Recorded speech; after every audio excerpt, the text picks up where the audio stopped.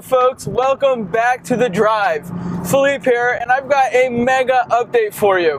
Now, for those of you who are following me on Facebook or might have seen it on my blog or somewhere else, you guys will know what this is about. But for the rest of you who only follow me on uh, The Drive, by the way, I highly recommend you check out my Instagram at zcarfiva. Uh, I'll, I'll link it below. You guys will know all about this. But anyways, I bought a new car back in December. It is now June, uh, July, June. So yes, I have been holding out on you guys for six months, but with good reason. Uh, I purchased the car back in December, 10 days before Christmas. It was not a Christmas gift to myself. I'm not making a million dollars, you know, a week on YouTube or something. It was, I needed a daily driver that wasn't 30 years old. I wanted something sporty. Hey, dude, check it out. He's checking out the Z. uh, and I just wanted to be able to get something a little bit newer. I was watching this 370Z for months on Facebook, and it came down to a price that I felt like it was a good deal, and I snatched it up. Uh, it's a 2010 Nissan 370Z. Uh, it's the 40th anniversary model, so there's only 1,002 or 1,012 of these made. This is number 759. Uh, let's see. I bought it from a fellow in New York. He brought it to a Nissan dealership. Shout out to County Line Nissan in Middlebury, Connecticut. Speak to my buddy Quinn Bannon. He will hook you up, ladies and gentlemen. I get all of my OEM parts. I know this is shameless plug. I don't really care. Quinn is awesome. They will take care of you. Um, he did my inspection for me. He recommended someone that I could pass my smog test with in Connecticut.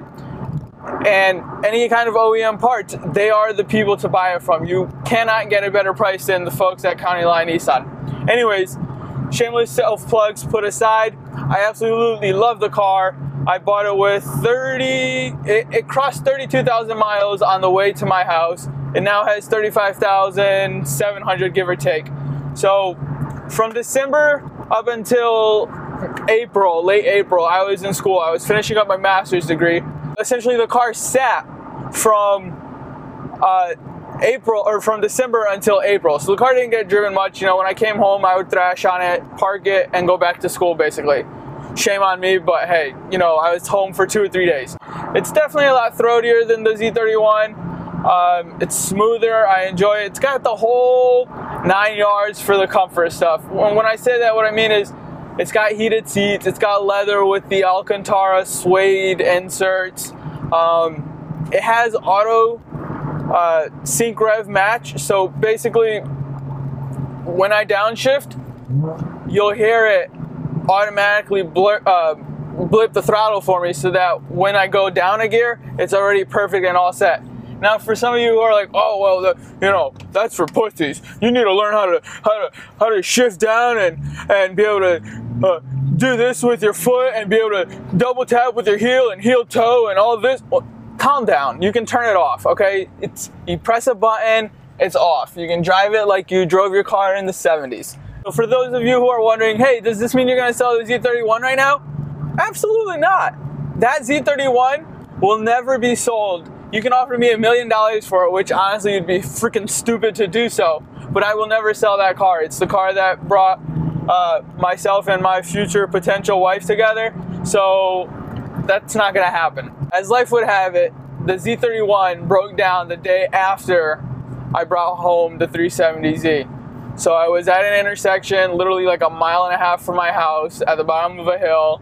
I blipped the throttle. I start to go through the intersection and boom, it turned out to be a busted uh, driver's side rear axle.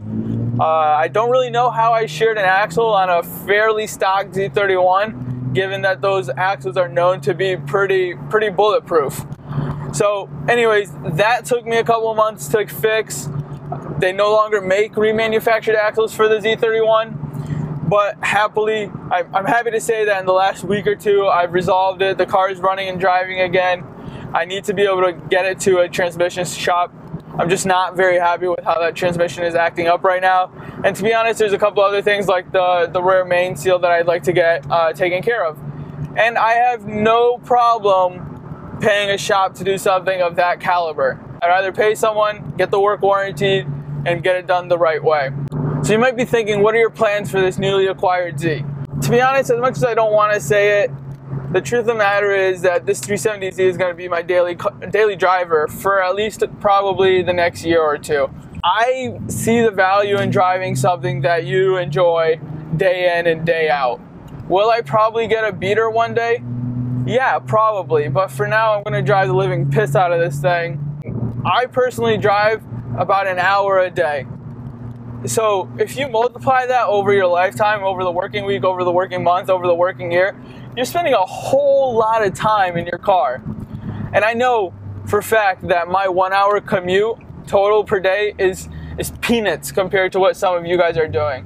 So the way I look at it is if I have to be spending all this time in a car driving, why not drive something that I truly enjoy? Now, does this mean that I'm going to get a couple more scratches and maybe a door ding here and there? Yeah, likely I will. Actually, I just put a scratch in it last night and I was pissed. But you know what? These cars are meant to be driven, not to be garaged. And one day when I don't need to daily drive the car anymore, I'll respray it if necessary.